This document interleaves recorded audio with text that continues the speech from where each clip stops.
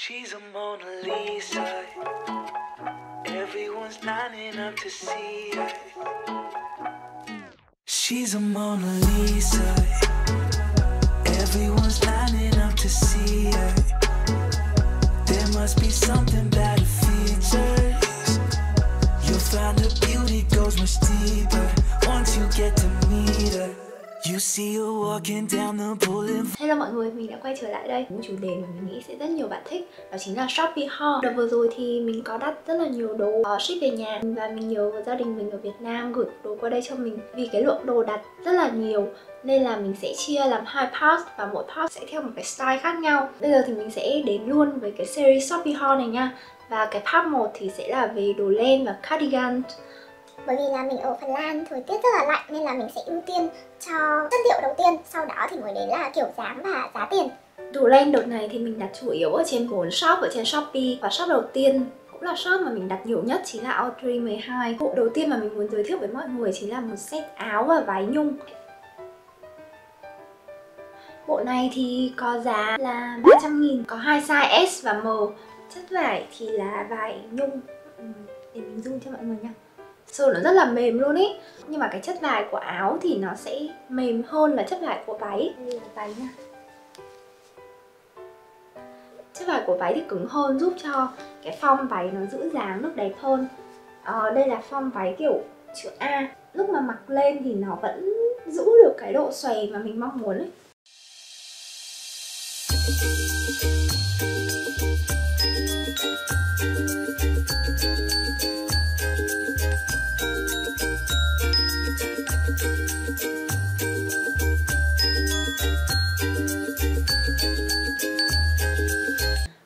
theo thì cũng là một set áo váy, nhưng mà chất liệu lần này là len tăng mỏng.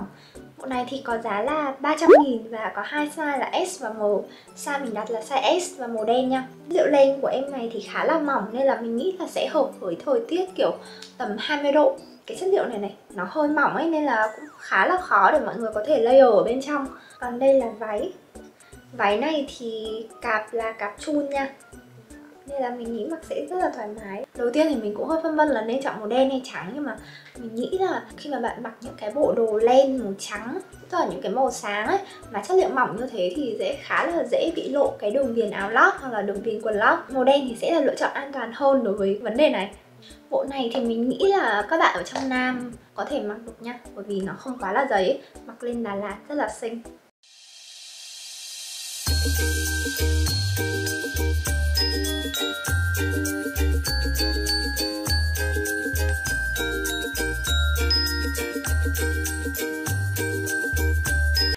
Theo mà mình muốn giới thiệu là một chiếc áo len cổ polo như thế này.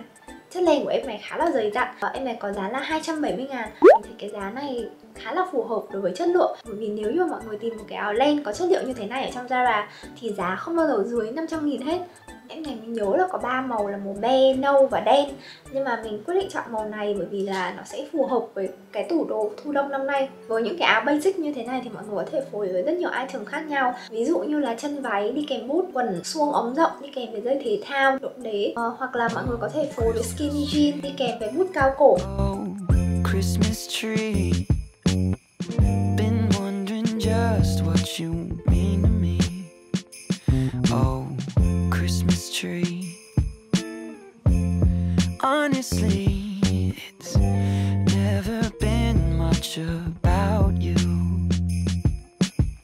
Item thứ tư mà mình đặt ở shop này đó chính là một em chân váy chữ A, sọc nâu như thế này.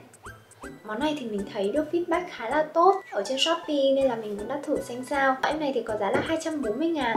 Chất liệu của em này thì là chất len dệt kim. Chất len dệt kim của em này khá là đanh và cứng nên là nó sẽ giúp giữ cho cái form váy lúc nào cũng có một cái độ xòe. Y như mẫu mặc Em này thì có hai màu là sọc nâu và sọc đen. Phần cạp mình thấy co giãn khá là tốt. Chân váy này là cặp, chân váy cao cao nên sẽ giúp cho những cô nàng nắm lùn như mình. Ăn ra chiều cao rất là tốt nha mọi người. Ở giữa thì có một cái hàng khuy giả, theo kiểu bấm như thế này, Nhìn rất là dễ thương. Ở hai bên thì có cả túi nữa nha. Em này thì có thể phối với áo len trơn hoặc là áo hoodie uh, ờ, đi kèm với boot thì rất là xinh.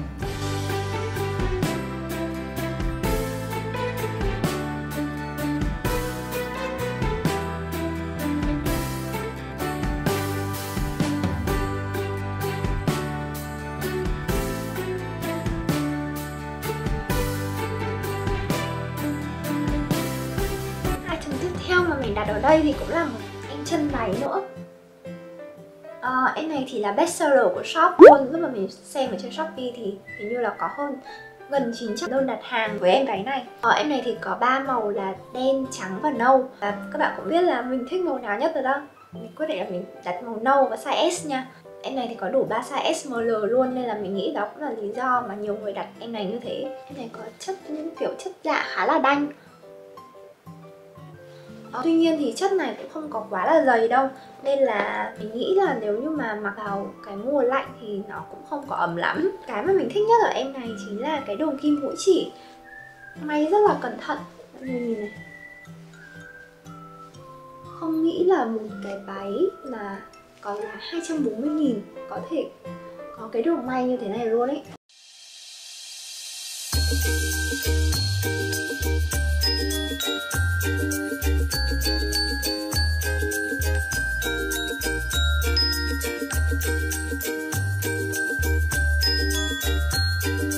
Món tiếp theo mà mình đặt ở shop này cũng là hai item rất là basic thôi. Đó chính là hai em áo thun cổ 3 phân như thế này. Em này thì có giá là 190 ngàn Và có, mình nhớ là có 3-4 màu thì đó Và mình quyết định là mình sẽ đặt sẽ là màu be và màu nâu. Dù là hai em này cùng một mẫu và cùng một giá tiền như nhau Nhưng mà áo màu be thì mình cảm giác chất dày dặn dạ và ấm hơn. Bên trong thì có lớp như kiểu lớp uh, nỉ, hơi nỉ bông nữa. Gấu áo ở dưới này này, thì nó không có may mà nó sẽ là một cái đường cắt như thế này. Cảm giác nhìn nó hơi ẩu ấy. Còn em áo màu nâu thì chất nó mỏng hơn áo be, nhưng mà mình thấy vẫn thuộc dạng gọi là dày dặn và mặc ok. Phần gấu áo khác em áo màu be là người ta có may đường viền như thế này. Em này thì mình thấy nhiều shop bán giá cũng khá là rẻ như kiểu chỉ có 90 ngàn. Nhưng mà mình nghĩ là với cái giá như thế thì chất lượng cũng khá là hên xui. Bởi vì cái áo này mình sẽ làm mặc áo lót ở bên trong ấy Nên là mình cần một cái áo kiểu chất, chất vải nó cũng phải dày dặn một chút. Chứ mình nghĩ là những cái áo mà kiểu chỉ có giá khoảng tầm 90 ngàn, 100 ngàn Thì sau mấy lần giặt nó sẽ bị đã hoặc là bị bay. Như thế thì mình nghĩ là nó khá là phí ấy. Áo này thì mọi người có thể mặc bên trong những cái áo hoodie mà cô rộng Hoặc là bên trong những cái áo sơ mi như mình đang mặc như thế này không thì mọi người có thể phối với áo jean đen mà năm nay mình thấy đang khá là hot. Ờ, shop mình đặt nhiều đồ tiếp theo đó chính là Zinia Boutique item đầu tiên mà mình đặt đó chính là một em chân váy dạ chữ A như thế này.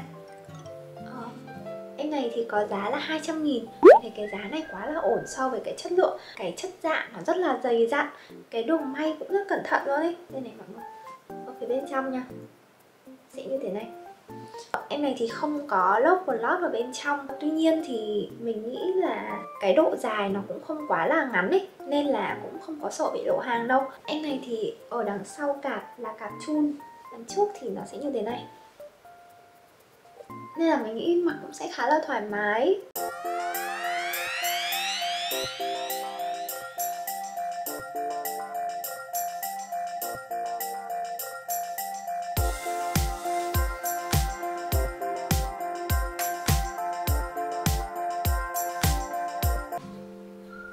Tiếp theo và cũng là item đắt nhất trong cái đợt haul lần này của mình đó chính là em quần Becky. Kiểu dáng vintage như thế này. Em này thì có bốn màu là trắng, nâu đậm, nâu nhạt và đen. À, ở đây thì mình đặt màu nâu nhạt. Em này thì có giá là 380 ngàn và có size XML lúc mà mọi người mua em này thì sẽ được đi kèm thêm một chiếc thắt lưng. À, em này thì là chất kiểu kaki khá là dày. Hôm qua mình mặc ra đường. À, thời tiết ở bên này lúc lưu ý là tầm 5 độ. Và mình thấy rất là ấm. Ở bên trong thì như kiểu có một lớp kiểu nó giống như kiểu nỉ lông ấy mọi người. Nên là rất là ấm luôn. Em này mình mặc thì độ dài khá là phù hợp với mình. Ờ, à, cạp của em này cũng khá là cao nữa.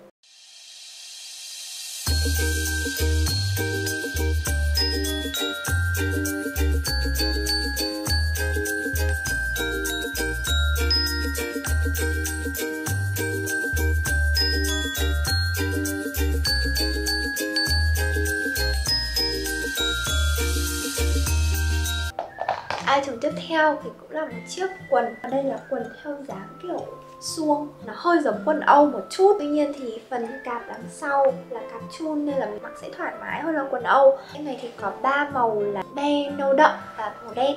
Mình thì đặt màu nâu đậm bởi vì là mình chưa có một cái màu như thế này trong tủ quần áo của mình. Cái này thì có giá là 260 ngàn. Với một cái quần kiểu như thế này thì mình nghĩ sẽ hợp với những bạn theo style đúng đắn công sở em này thì mình nghĩ là hơi dài so với chiều cao của mình mình sẽ phối thêm cùng với một đôi bút đen cao gót nữa.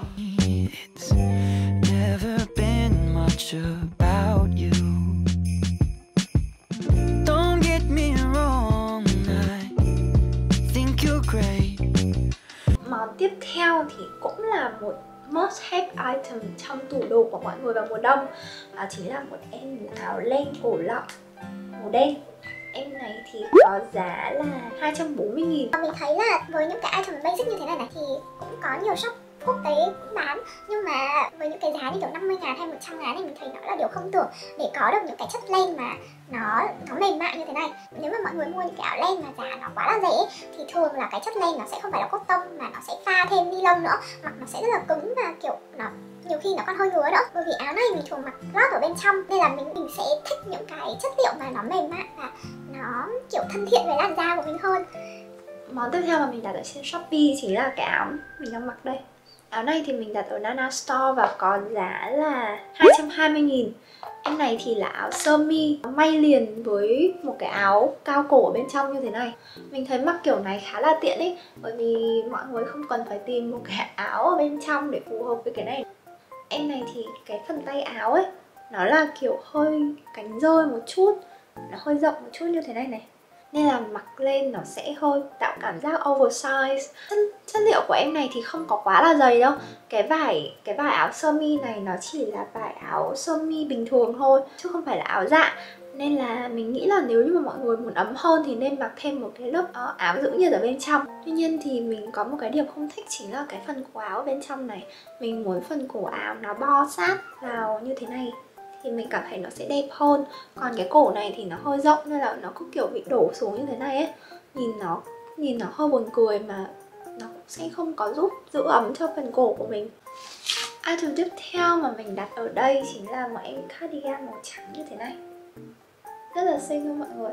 Em này thì có giá là 230 nghìn Điều đặc biệt của em cardigan này là, Mọi người thấy không? Ở phần tay áo này, người ta đan theo nhiều họa tiết khác nhau. Em này mình nghĩ là mọi người có thể mặc khá là nhiều kiểu, có thể mặc khoác hoặc là mặc thành áo bình thường mặc thêm một cái áo, kiểu, cao cổ ở bên trong, rất là ok. Hoặc mọi người có thể khoác ở ngoài một cái váy liền thì sẽ thành một cái outfit, kiểu, hơi bánh bèo một chút. Chất lên này khá là dày dặn và bởi vì là may theo cái kiểu lưới có lỏng lỏng như thế này này, nên là sâu nó sẽ rất là mềm.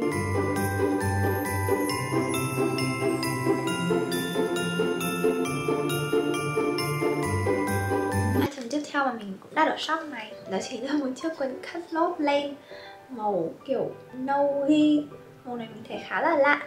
Lúc mà mình mới cầm em này lên ấy thì cái ấn tượng đầu tiên là nó rất rất là nặng luôn. Cái chất len cũng siêu dày. Chất này kiểu cảm giác nó hơi nhung nhung nữa sờ nó rất là mềm em này thì có giá là 250 nghìn. Nhưng mà mình nghĩ là cái quần này thì nó hơi dài so với mình, Nên là chắc là mình sẽ phải đi giày độ gót lên thì nó mới vừa. Cái kiểu quần này thì mình nghĩ là có thể mặc được ở trong thời tiết rất là lạnh, Như ở bên này.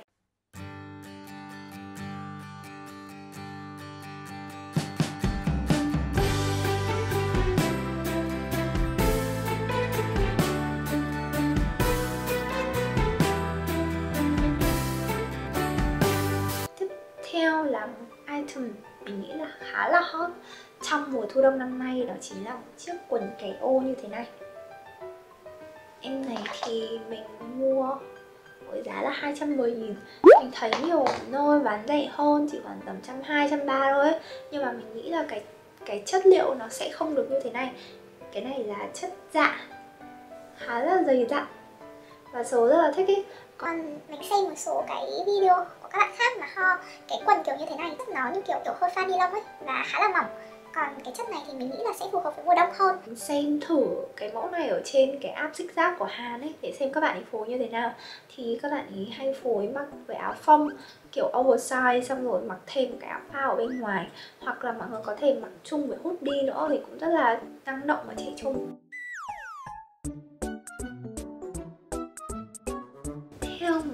Giới thiệu ở đây là một em cardigan em này thì mình không có đặt trên shopee nhưng mà mình cũng mới mua đồ này thôi.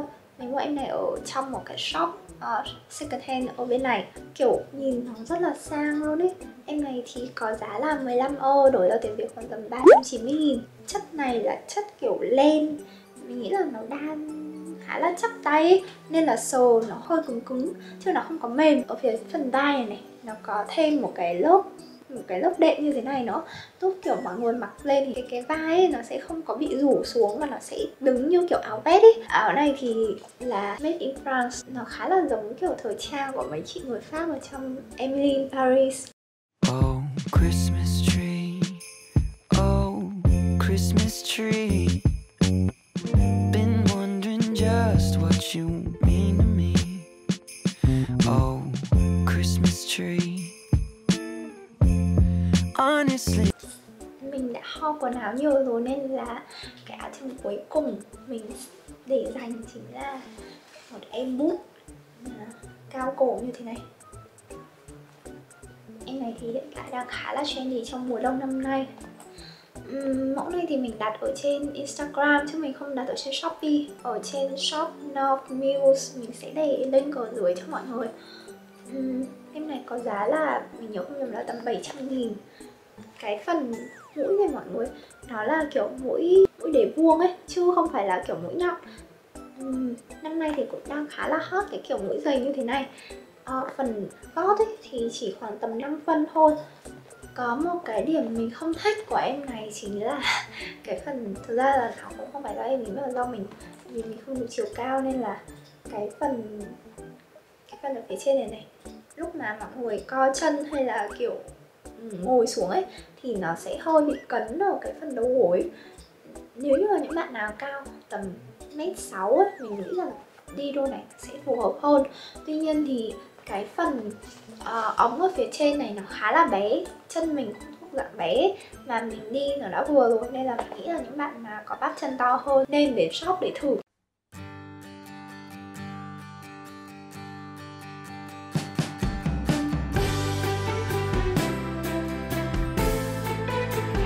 người đã theo dõi đến đây. Bật mí thêm với mọi người là phát 2 thì mình sẽ ho toàn bộ là đồ hoodie, jean cũng như là giày thể thao. Sẽ theo style năng động hơn một chút chứ không phải kiểu đứng đắn vintage như cái clip này. À, toàn bộ những link mua hàng thì mình sẽ để ở dưới để mọi người có thể tham khảo. Nếu như mọi người thích video này hoặc là muốn xem những video tiếp theo của mình thì có thể là subscribe cho cái channel của mình. Video tiếp theo thì chắc là mình sẽ up trong mấy ngày tới. Xin chào và hẹn gặp lại mọi người ở những video sau. Bye bye!